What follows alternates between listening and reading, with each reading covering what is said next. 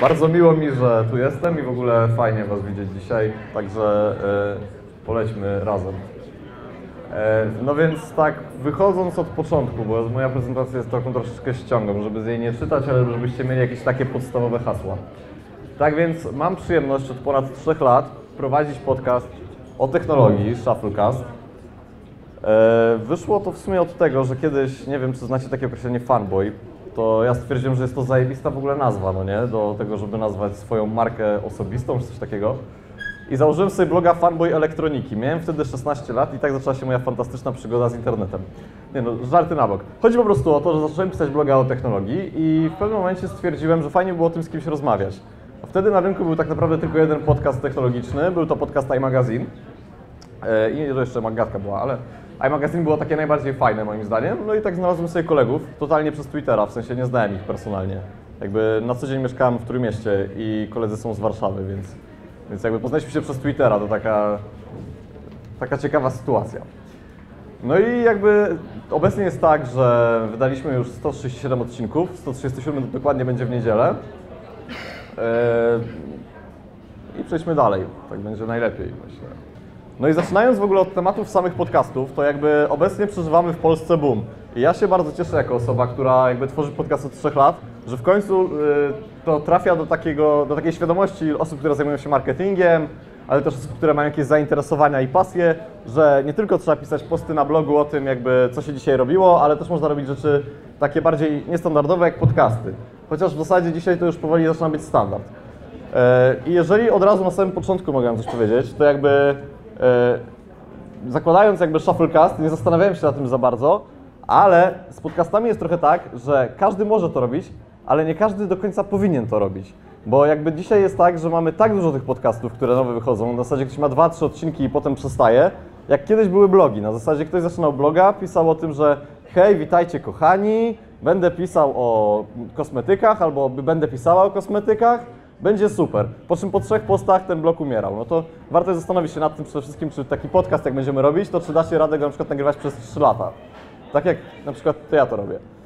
E, I co jest w ogóle bardzo ciekawe, to to, że jakby tak wyglądała e, sytuacja wiekowa, gdy zaczynaliśmy nasz podcast, bo to się tak może wydawać, że jakby podcast muszą nagrywać nie wiadomo jacy ludzie. Nie, nie muszą, to się nagrywa normalnie, tak jak inny filmik na Snapchata. E, Ja miałem 18 lat wtedy. Mój drugi kolega miał 18 lat, a trzeci kolega miał 31, więc jakby ta rozbieżność była dosyć spora, bo jakby ten kolega się postarał, a ja by byłem o rok młodszy, no to moglibyśmy być rodziną. E, ale to, co, do, do, czego zmierzam jakby, to to, że y, tak tworząc tą prezentację, bo takiej prezentacji o podcaście, w sensie o tym, jak robić podcast mam trochę i jakby tworząc tę prezentację, bo ja ją tworzyłem specjalnie dla Was, ale mówię zupełnie serio, to nie jest tak, że podmieniam sobie w szablonie Szczecin, tylko naprawdę była robiona dla Was, e, to myślałem sobie o tym, że jakby to, co chcę Wam przekazać, to to, że u nas pierwsze 10 odcinków było totalnie słabe, ale było, było tak strasznie słabe, w sensie to jest tak, że jakby ja powiem potem o tym, co, czego ja nie lubię w podcastach, ale to można lubić albo nie lubić. U nas po prostu było tak, że my przez pierwsze 10 odcinków mieliśmy problemy z nagrywaniem, mieliśmy problemy z tym, o czym mówić, mieliśmy w ogóle problemy z tym, żeby się dogadać. Bo wiecie, to jest inaczej, jak się kłócisz we trzech przy piwie, a inaczej jest, jak się kłócisz we trzech, a potem, nie wiem, ktoś tego słucha, no nie? W sensie, i wy zaczniecie się tam, nie wiem, obrażać na przykład. No ja miałem 18 lat, no hello. E, kultury się człowiek uczy dopiero potem. E, ale co jest bardzo ciekawe, po tych 10 odcinkach jakby my kontynuowali, kontynuowaliśmy to dalej. I y, może jestem bardzo taki twardogłowy pod tym kątem, ale my zbudowaliśmy podcast bez żadnych pieniędzy, w sensie tylko na domenę i na hosting. Ale nie, wyda, nie, nie wydawaliśmy pieniędzy na reklamę. Y, potem tam próbowaliśmy coś wydać, ale to w ogóle nic nie dało. Ale my po prostu zbudowaliśmy podcast taką rzetelną, cotygodniową pracą. To wychodzi po prostu co tydzień. My co tydzień gadamy o tej technologii. Ktoś może stwierdzić, że to jest nudne i głupie, ale nie martwcie się, czasami też opowiadamy o ubraniach.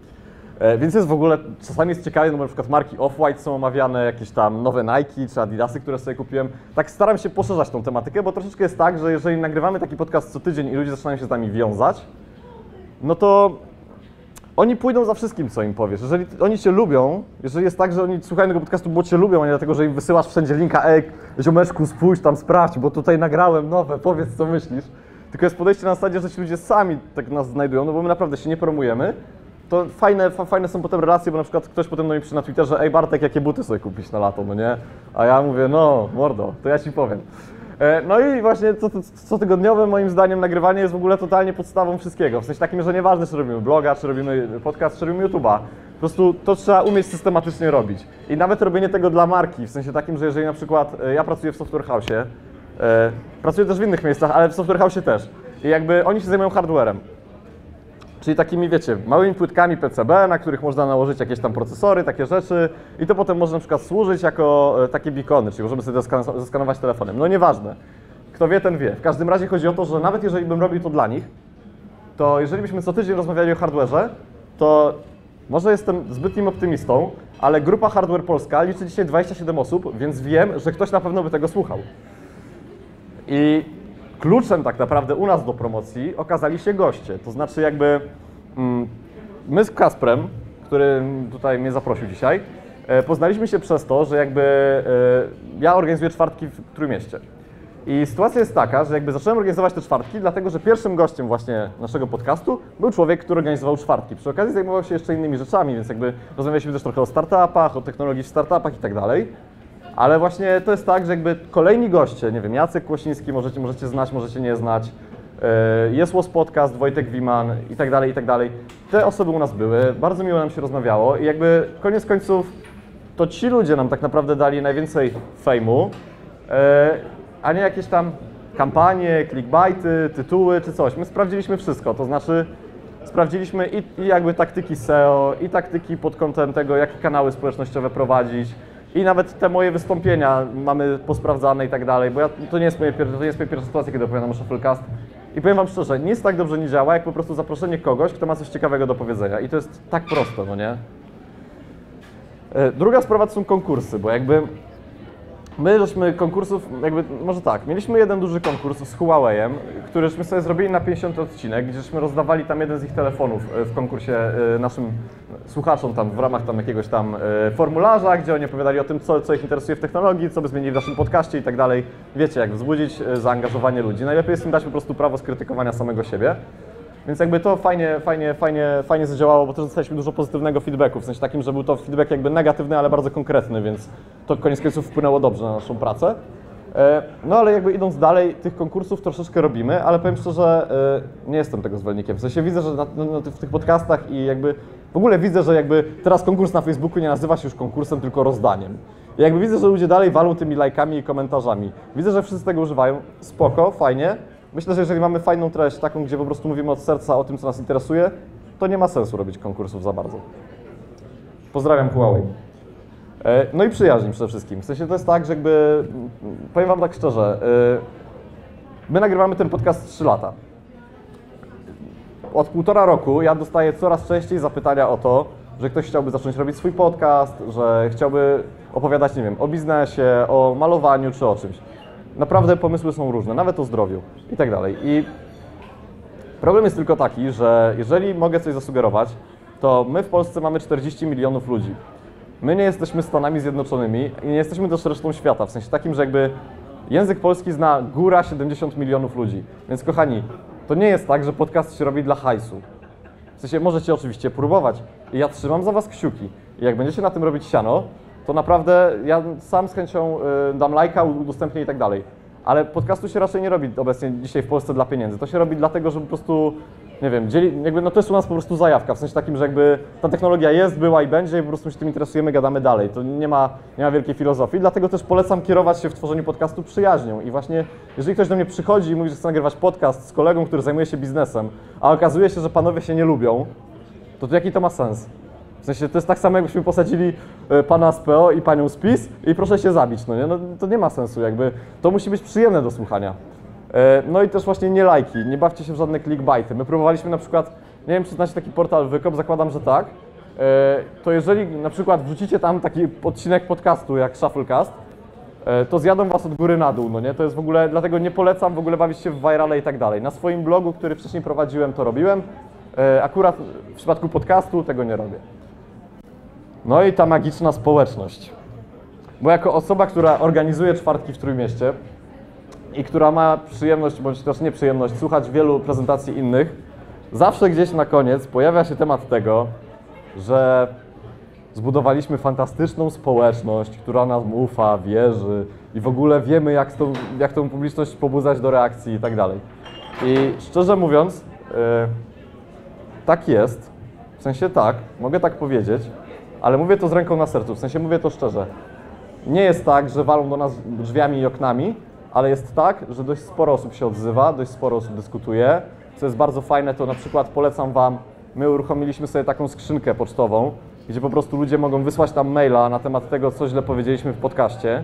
Nie jest to jakoś może tam napisane na zasadzie zhejtuj nas, to tak nie działa. To jest po prostu kontakt, ale jak na przykład wypowiadamy się o czymś i okazuje się, że czegoś nie wiemy, to fajne jest to, że są ludzie, którzy piszą nam maila słuchaj stary, opowiadaliście o obiektywach do aparatu, to i to i to jest źle, sprostujcie. No i my w następnym odcinku, no tu kolega Marcin z Zabrza napisał, że tutaj trzeba sprostować. No i prostujemy, no nie? Jakby to jest fajne, bo to nie jest trochę tak, że może przejdźmy dalej. Właśnie te cyfry to jest, to jest odpowiedź na to, na, na, to, co chcę dalej powiedzieć. Bo jakby my, nasze, nasze odcinki dochodzą do 10 tysięcy pobrań w ciągu tygodnia. W sensie w tym tygodniu po premierze mamy 10 tysięcy pobrań, potem jakby już tego nie sprawdzamy. I to jest tak, że jakby nie chciałbym i nigdy nie będę do tego dążył i myślę, że cały nasz zespół tego nie chce, yy, żeby było tak, że my jesteśmy tu, a nasi słuchacze są tu. I po prostu my jesteśmy wielcy panowie znawcy tego, jaki procesor masz w iPhone'ie, a to jest plebs, który ma tylko nas słuchać i propsować. Nie. Naszym jakby celem i tym, dlaczego napisałem tutaj przyjaźń, jest to, że po prostu ludzie, którzy słuchają takiego podcastu, to są ludzie tacy jak ty. Jeżeli oczywiście interesuje ich to, co ciebie, no bo w dużej mierze to jest tak, że jeżeli ja na przykład wyszedłem z technologii i kiedyś byłem dużym fascynatem matematyki, na szczęście mi przeszło, ale byłem, e, to jakby, no wiecie, no interesujesz się tą technologią i masz tysiąc innych nerdów, którzy też się nią interesują, tylko może nie mają aż na tyle odwagi, żeby o tym pogadać i to nagrać i to wysłać gdzieś tam do internetu, bo koledzy się śmieją, na przykład ze mnie się na początku śmiali. Ale z czasem jest tak, że jakby gdzieś ta grupa tych osób, które się z tego śmieją, znika, jakość podcastu rośnie, rośnie też jakby słuchalność i rośnie obycie w tym wszystkim, w tym całym nagrywaniu. I fajnie jest wtedy nawiązać właśnie taką przyjacielską relację z tymi, którzy po prostu nas słuchają. Bo ja serio jestem ziomkiem z ludźmi, w sensie zdarza się, że ludzie z podcastu, którzy mnie słuchają, piszą do mnie Bartek, słuchaj, nie mam gdzie spać w Sopocie, prze, przenosuj mnie. Ja mówię spoko, mordo wbijaj, no nie? I to polecam w ogóle, w sensie dalej mam nocleg w Sopocie, jakby ktoś chciał. E, No i te trzy lata moim zdaniem są kluczowe, bo jakby to było tak, że e, to było, no jest tak, to, to jest tak, że słuchajcie, nie ma żadnych konkretnych, merytorycznych przesłanek do tego, żeby to dalej nagrywać. W sensie musimy płacić za domenę, musimy płacić za hosting, godzina naszego czasu z każdym tygodniem drożeje, no bo wiadomo, jakby doświadczenie rośnie, więc moglibyśmy sobie tak wycenić. A ponadto jeszcze jest tak, że jakby firmy nie do końca, zauważyłem, wiedzą jak ten temat podcastów ugryźć, bo jakby no przez to może, że jesteśmy jakby, że język polski jest dość jakby używany przez małą grupę ludzi na świecie, no to zasięg wiadomo jest od razu też mniejszy i, i jednak jest tak, że pomimo tych wszystkich na nie podpunktów, po prostu to się robi i to jest tak, że to jest, to jest tak jak rozmawiałem z Kasprem. Kasper mnie zapytał przed tym wystąpieniem, że on, że fajnie, że jakby, że fajnie, że my to nagrywamy co tydzień i no tak, no, w sensie, a jak inaczej, no nie? Jest tak samo jak wychodzisz z domu i myjesz zęby, no. A co, no nie umyjesz? No myjesz, no. Tak samo jest z podcastem, jeżeli masz zajawkę, jeżeli chcesz po prostu, to to robisz. I ja powiem szczerze, sam jako już ja, a nie Shufflecast, ja mam jakby dos, dosyć sporo klientów, robię kampanie większe i mniejsze i tak dalej. Nie, nie wchodząc w szczegóły, jakby widzę wyraźnie, tak, że to się nie zwraca. Ale to jest po prostu coś jakby takiego, gdzie myślisz sobie, po prostu chcę to robić, to nie? I myślę, że za 2-3 lata może być tak, że nawet to nam się zwróci. Nie wiem. Ale też na to nie liczę. To będzie bonus, to nie jest jakby podstawa, to nie jest motywacja. Zawsze jak na przykład y, kiedyś myślałem o tym, to myślałem o tym, bo dzisiaj tak widzę, że tak jest z podcastami. Ludzie myślą, założę podcast, to nagle moje szkolenia coachingowe zaczną się sprzedawać. Okej, może zaczną. Ale jeżeli to jest Twoim celem, to ten podcast jest po prostu słaby, no. I to jest właśnie tak, że jakby dobry podcast to jest przede wszystkim przygotowanie. W sensie takim, że jakby to naprawdę musi być coś, co Cię interesuje. To nie jest tak, że o, będę drugą Muff Fashion, albo to jest, nie wiem, założę e, Onet rano, tylko że w wersji podcastowej. No, no, no stary, no, to, to jest kopiowanie.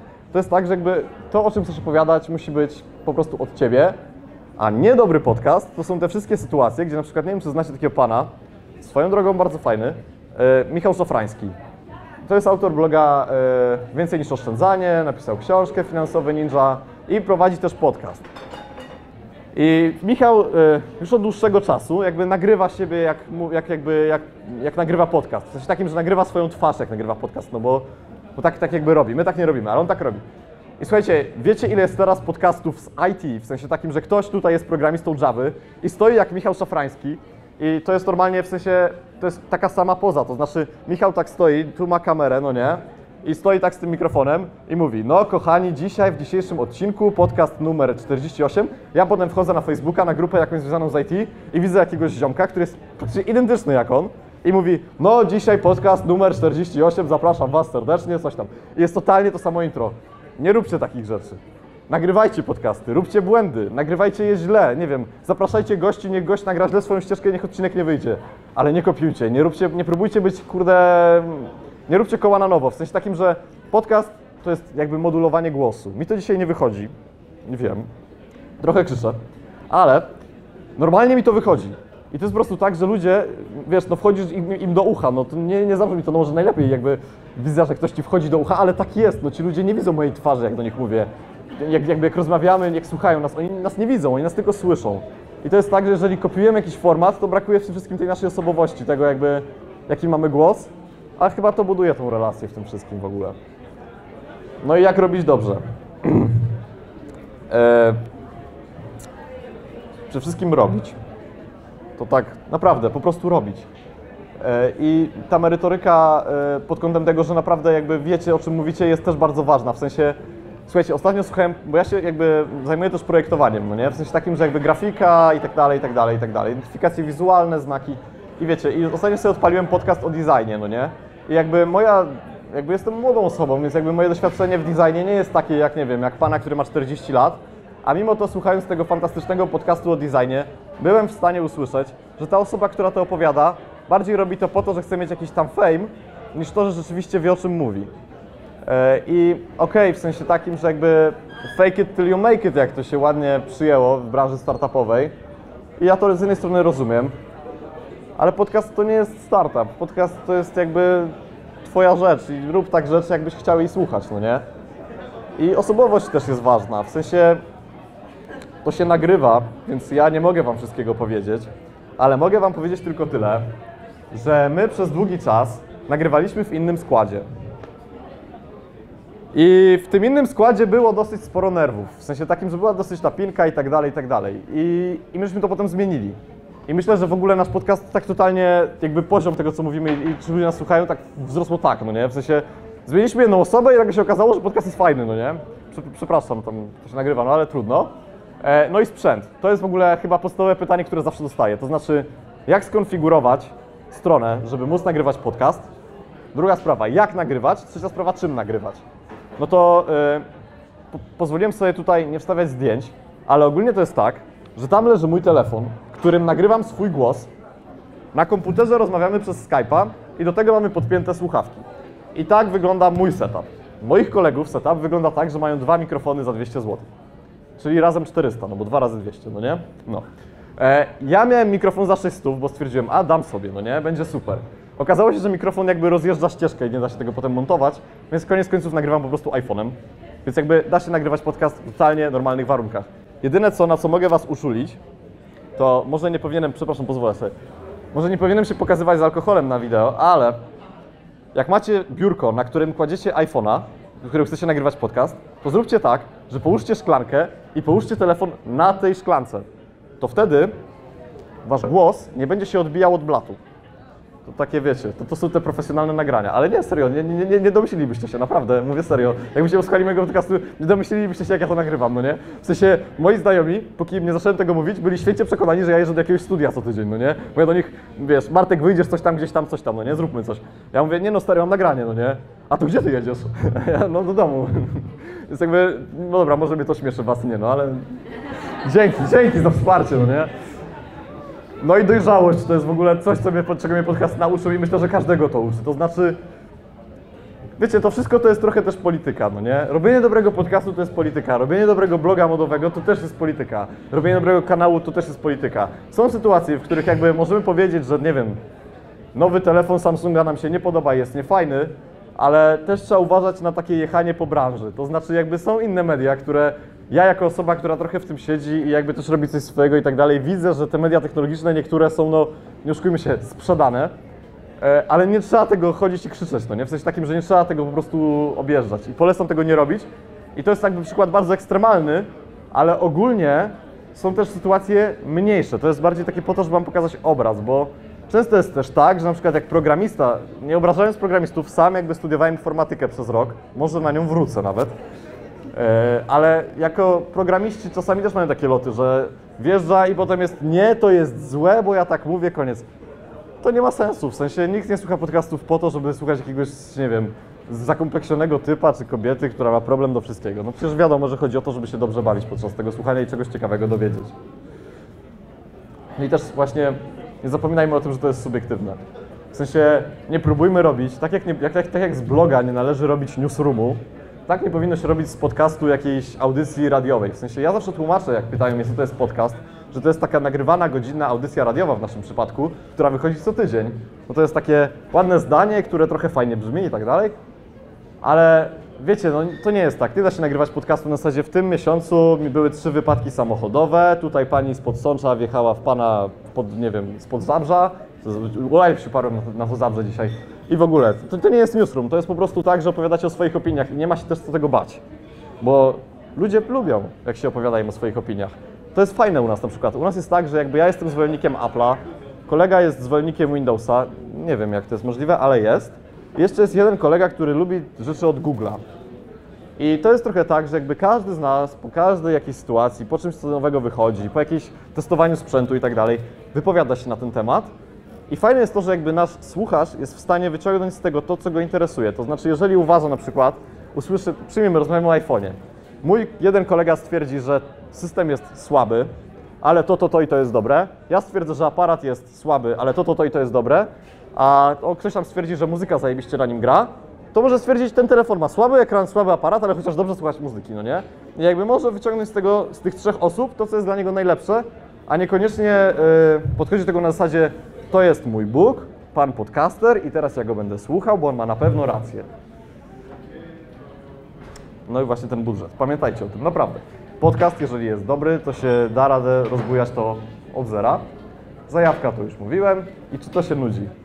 E, tak i nie. To znaczy, wczoraj nagrywałem podcast wieczorem, e, właśnie e, ten 137. I mieliśmy już takie podejście na zasadzie, dobra, nagrajmy to dzisiaj, bo po prostu w niedzielę ostatni, jest kolejny termin, kiedy jesteśmy w stanie się wszyscy zebrać i będzie lipa, no nie? W sensie nie nagramy tego, albo, będzie, albo się spóźnimy, albo ten odcinek będzie słaby. Więc są takie momenty, gdzie to jakby spada, no ale to zależy po prostu, co chcesz robić. No, to jest tak bardzo proste, tak jak ze wszystkim w życiu. No, jeżeli nie chcesz pracować, to nie pracuj. Oczywiście to jest abstrakcyjne, ale tak jest.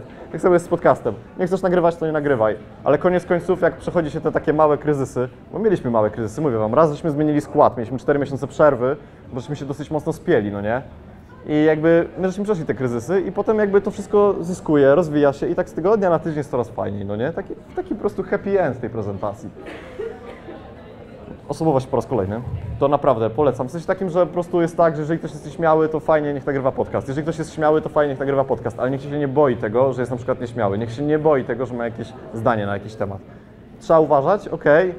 Ja na przykład, my regularnie wycinamy żarty yy, na tle rasowym i tak dalej, bo jakby to się zdarza podczas nagrywania i potem jakby Sławek, który to montuje, mówi, no panowie, musiałem to, to, to i to wyciąć, bo żeście przegięli pałę. Spoko, to jest jakby ok, ale osobowość jest ważna, w sensie fajnie jest pożartować po prostu na przykład, no nie? I opowiedzieć coś od siebie. Na przykład ja nie ukrywam tego, że mam iPhone'a, dlatego że po prostu chcę mieć telefon z zaszkiem yy, tego jamka, no nie? Po prostu, no, chodzi o słek. I to jest fajne, że to mówię, no nie? W sensie takim, że jakby tutaj może gorzej, ale w podcaście ludzie to lubią.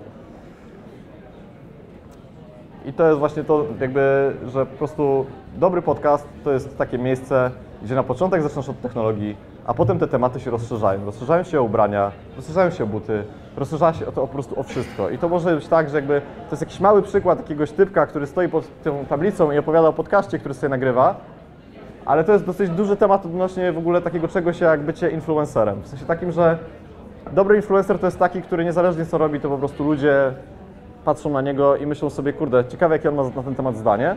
I wydaje mi się, że po prostu po co się robi ten podcast, żeby to osiągnąć. Tak jak po to się robi te inne aktywności w internecie.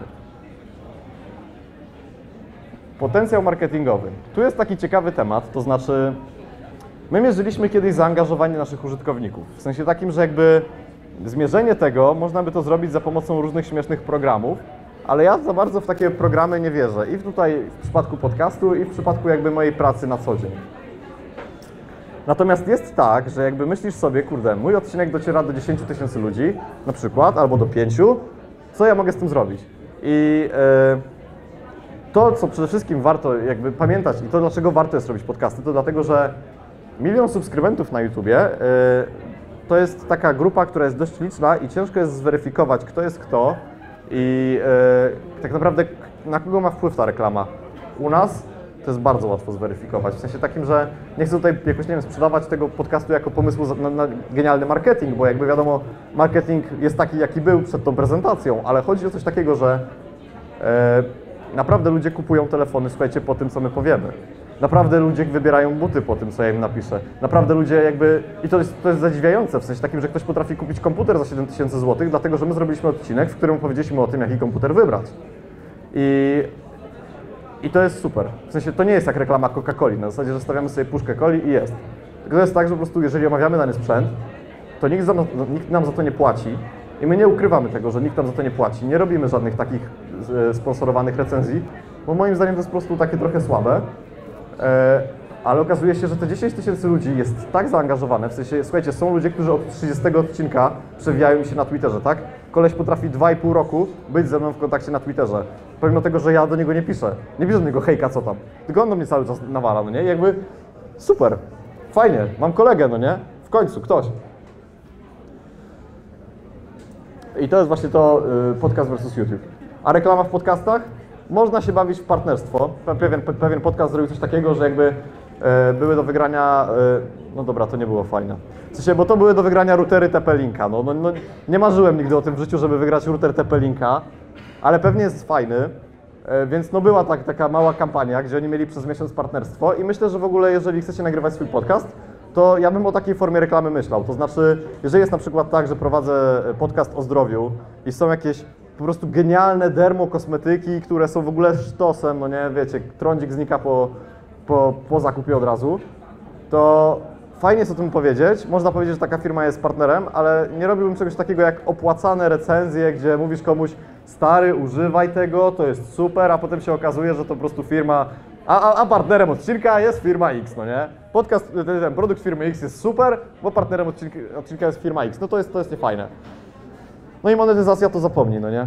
W sensie jak sobie ustawisz Google AdSense na, na, na stronie podcastu, to, to ja życzę szczęścia, dlatego że u nas y, my mamy 200 lajków na Facebooku, no nie? Czy tam 270, coś takiego. A i teraz jak to możliwe, że mamy 270 lajków na Facebooku i 10 tysięcy pobrań odcinka?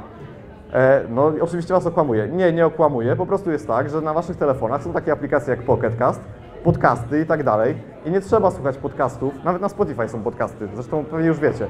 I nie trzeba słuchać podcastów przez stronę, więc jakby nie próbowałbym tego monetyzować jakimiś takimi śmiesznymi reklamami banerowymi, no bo to szanujmy się. No i teraz raz, dwa, trzy. Pasja, dziękuję.